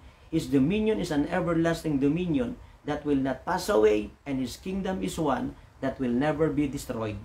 He was given authority, glory and sovereign power, All nations and peoples of every language worship Him. His dominion is an everlasting dominion that will not pass away, and His kingdom is one that will never be destroyed. Binigyan siya ng kapangyarihan, ng kalawalatian, para sa lahat ng tao at lahat ng mga bansa. Lahat ay sinasamba siya at dapat siyang sambahin. Ang kanyang kapangyarihan, ang kanyang paghahari ay hindi maglalaho at hindi ito mawawasak kahit kailan. Oh God, only Jesus is dependable and unshakable. I'm glad to be a part of the kingdom. This is the reason why gave us the ministry, the church, the fellowship entitled the Kingdom of Jesus. This is a God-given mandate, a God-given ministry a God-given revelation, not a product of division, slandering men, true men and women of God, not stealing church and plaques from other churches. Just trusting the Lord till the last breath of our lives. Born from the heart of God, ipinanganak sa puso ng Panginoon. Hindi bunga ng dibisyon, pangaagaw ng tupa ng iglesia sa sino man at hindi paninira sa mga totoong lingkod ng Diyos. Tinayo sa pinakapuso ng Panginoon binigyan ng mandato. Kingdom of Jesus. A kingdom that cannot be shaken. Daniel 2.44, Daniel 2.44. In the time of those kings, the God of heaven will set up a kingdom that will never be destroyed, nor will it be left to another people. It will crush all those kingdoms and bring them to an end, but will itself endure forever. Again, Daniel 2.44 in the time of those kings, the God of heaven will set up a kingdom that will never be destroyed, nor will it be left to another people. It will crush all those kingdoms and bring them to an end, but will itself, it will, itself endure forever. Sa mga panahong iyon, ng mga, mga kaharian at paghahari ng mga pamumuno, ang Diyos ng langit ay magtatayo ng isang kahariang hindi masisira at hindi ito pang tao pa o gawa ng tao I mean no? Hindi ito mula sa tao at gawa ng tao. At hindi at ito ang magwawasak sa lahat ng kaharian.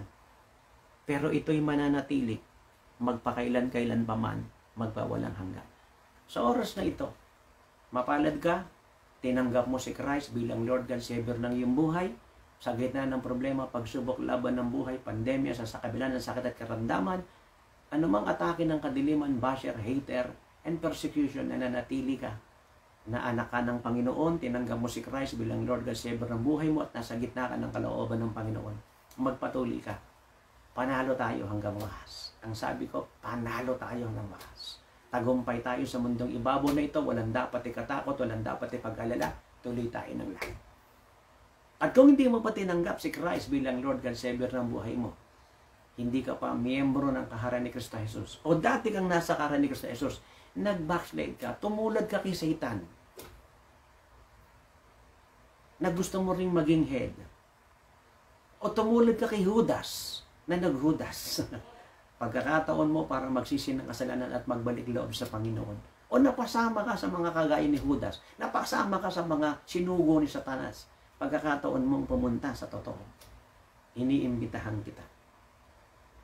It's time for you to return to your God, to your King, to your Savior, to your Healer, to your Provider, and that is the Lord Jesus Christ. It's time for you to return to your Savior. It's time to become the kingdom of Jesus, a member of the kingdom of Jesus, a member of the of heaven, I mean. Kingdom of Jesus is heaven. That is the picture of God. Be up, yeah, Be a citizen of the kingdom of Jesus. Be a citizen of heaven. Philippians 3.20. Philippians 3.20. Accept Jesus Christ now as your Lord, God, and Savior. And remain, stay, be fixed, be steadfast, be immovable, unshakable. Stay in the will of God. God will fight for you. Don't worry. Don't fear. Don't be afraid. No hesitation victorious here in, here in earth, and we will go to heaven, receiving eternal life in heaven. And not only that, we have so many crowns in heaven because we fight the good fight of faith. Marami tayong corona sa langit, dahil nakipagbaka tayo ng pakikipagbakaan ng pananampalataya. Taas po natin ang ating dalawang kamay patungan ng langit. Salamat po Ama, hindi kami susuko at wala kaming planong sumuko. Magpapatuloy kami, gagawin namin ang kalooban mo hanggang sa huling hininga ng aming buhay. Magliligtas kami, mananalangin, mag-aayuno, magkakaloob. Ibibigay namin ng patuloy ang the best sa iyo. Hindi namin titingnan anumang problema, pagsubok, laban ng buhay, anumang epidemya ng buhay. Ang titingnan namin ay ikaw na nagpasimula ng maganda sa amin, tatapusin mo ito hanggang wakas. Oh God, in Jesus' name. Thank you, Father. We will not retreat, we will not surrender because you who began a good work in us will bring it to completion. No sickness, no hell, no devil, no Satan, no, no fallen angels, no attack of the enemy, no disasters, no calamities, no poverty, no, no pandemic, no crisis can defeat us. You will give us a victory and continuous victory, God, in Jesus' name. So, Jesus, come into our hearts. Be the Lord and Savior of our lives. Panginoong Jesus, pumasok ka sa aming puso.